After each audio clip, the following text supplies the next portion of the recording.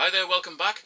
Since I made the last video on this tank showing the flow patterns of a simulated canister filter, um, I've literally had some requests to show a spray bar. So in this video, that's what we're going to take a look at.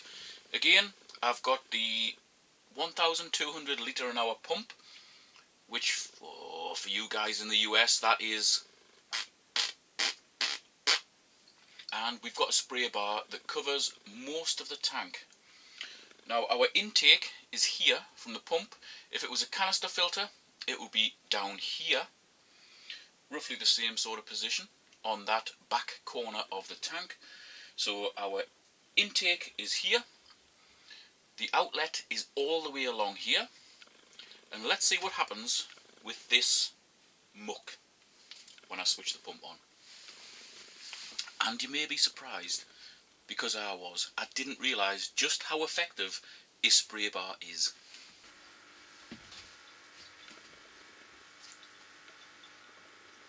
And I shall speed this up just so you can see exactly what is happening.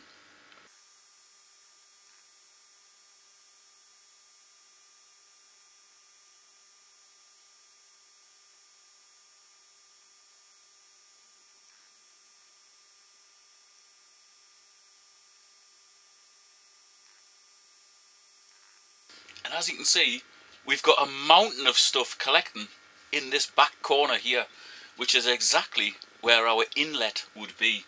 So that would be our intake, push, into the canister filter or into the pump, spitting out across here. This end is our capped end, so the capped off end of the spray bar wants to be at the opposite end to our intake.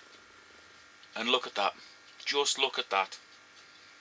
I was blown away when I saw this the first time because obviously I've been fanning around with it for a little while before actually turning the camera on.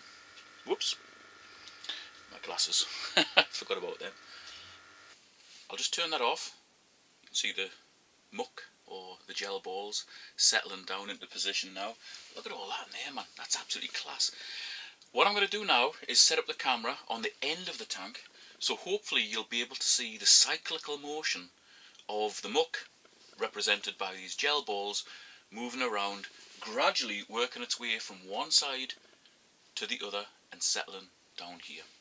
Righty.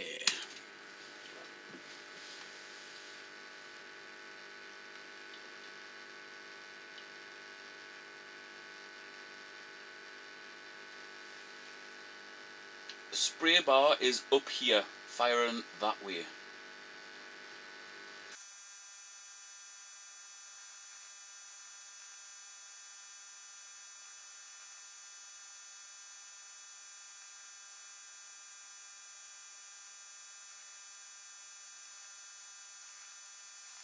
Okay, and just have a look how much muck is in this corner.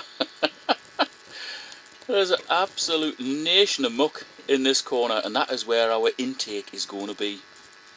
So there you go, spray bar. Intake here, output here, capped end off here, spray coming round, moving everything this way into that corner. Look at that. That's a massive pile of muck. If you found this video useful, give it a thumbs up, share it wherever you want. Thanks for watching, and I'll see you next time.